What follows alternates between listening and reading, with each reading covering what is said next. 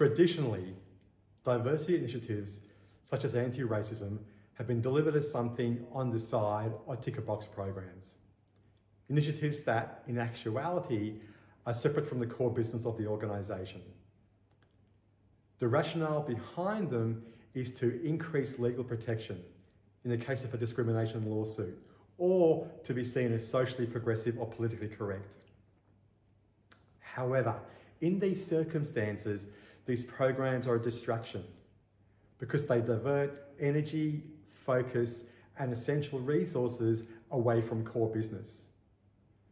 This makes them challenging to fund, both emotionally and financially. And as a result, almost invariably, they peter out before having the chance to deliver back to the organisation the outcomes we were seeking.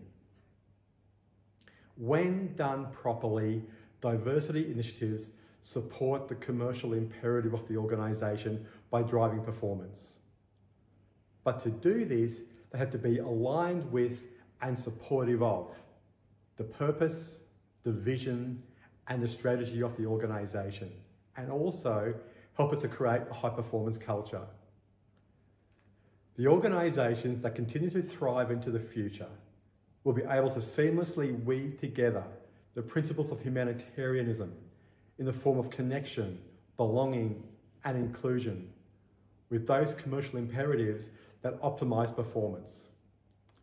Therefore, the premise of this book, which I'm really excited to share with you all, is to make the case that anti-racism, as well as other diversity initiatives, should not only be undertaken based on humanitarian principles, as important as those are, but also because by driving optimal performance to provide the organisation with a competitive advantage.